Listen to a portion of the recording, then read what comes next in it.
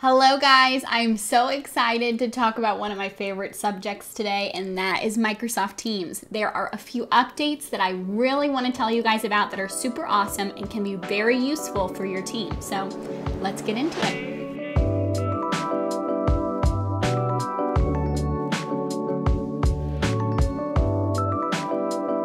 So, first, I want to talk about Teams channels. Now, one of the biggest concerns for us when we started using this was a word called access. When they first introduced Teams and Teams channels, it was a bit sketchy on what people would have access to if they were inside a certain channel or inside the team itself and whatnot. It really confused us and it scared us because we didn't want certain team members to be able to chat in certain channels and, you know, everything with that. So, I have good news because they have updated Teams channels and they now have this thing called a private channel. So let me show you what that is and what that looks like. So if you can look on my screen here, I've got our Axiom team and I've got some channels created under that. And as you can see, some of these channels have this little lock icon. That is saying that they are a private channel.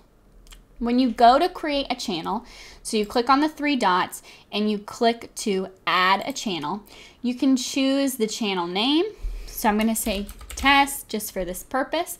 And then you can say a description if you'd like. And then here you can change the privacy to allow everyone on the team to have access, specific teammates to have access, or shared. So people you choose from your organization or other organizations have access. So that's really important to note that the private is really still just inside your organization. So you get to choose who inside your organization has access to that channel, but if you're wanting people outside of the organization to have access to the channel, you would want to put it as a shared channel.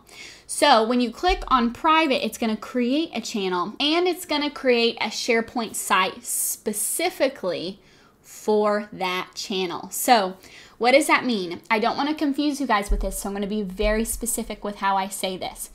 Every time you create a team inside Microsoft Teams, it creates a SharePoint site for that team. Awesome, that's great. Now that you have the access and the opportunity to create a private channel, once you create a private channel, it creates its own separate SharePoint site outside of the team site itself.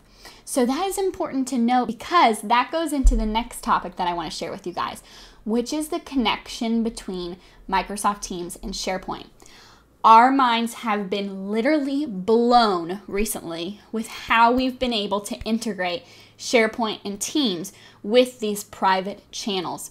We have been able to add specific SharePoint documents and folders and files inside the Teams channel itself and restrict access by using the access inside of Microsoft Teams. So, what does that mean? That basically means that our team doesn't even have to go on to SharePoint to view SharePoint anymore.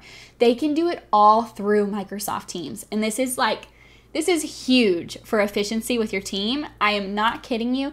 SharePoint can be some of the most confusing things that you'll have to learn when it comes to Microsoft, but Teams has made it way easier. So let me share with you how we set this up with our team. So if you guys want to use this with your team, you can. Okay, so I am inside my marketing channel under our Axiom team. If you can see here in the top tab, you have this file section. With this tab, you're able to view all of your folders and files that are under the SharePoint site titled Marketing. So that is a SharePoint site that was created because of the marketing channel. So Another thing to note is not everybody who has access to our Axiom team can have access to these folders. It is only the people who have access to this channel who can view the folders. Now, of course, you can share the link with somebody and then it changes to where they'd be able to have access. But as far as just the basics of it, when you create the folder inside this channel, only the people who have access to the marketing channel are going to see this. So, you can also add SharePoint site pages directly to Microsoft Teams. What does that mean? Well, you can create SharePoint sites that have pages with quick links and access to whatever your team may need. And if you don't know how to do that, I've created a video already on this and I'll link it above that basically will teach you quick way of how to create a SharePoint site page and make it look pretty and nice for your team. But how you would add that is you would go to this plus button in the top of a channel. Then you would go to the SharePoint tab you would add that in.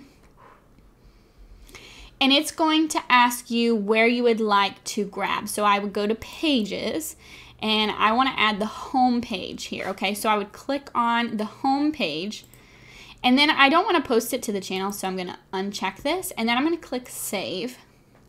This is going to add a tab titled home page. This is my home page for my SharePoint site that was created specifically from this marketing channel. Again, this is not tied to the Axiom team. Okay, this is tied to the marketing channel itself. This has been so useful for our team. If you're still confused on how this has been useful for our team, let me share why we have tons and tons of folders, documents, files that our engineers have to access through SharePoint, right? There's a lot of different ways to get to those files, get to those folders, but it could be very confusing for your team because of the amount of data that is piled into SharePoint sometimes. But what we've done here with integrating it inside Microsoft Teams channels is we have created one place for our team to view all files and folders that they could possibly need inside SharePoint.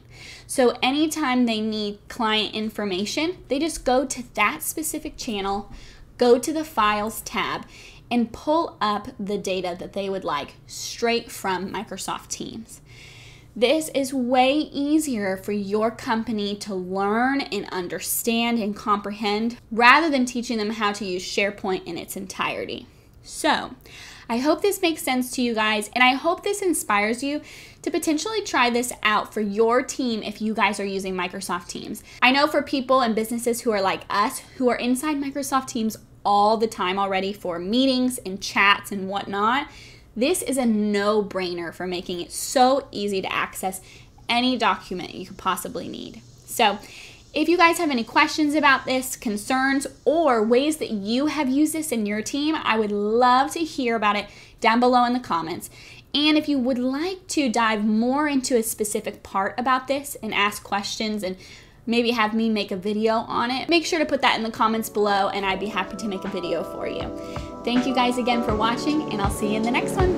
Bye.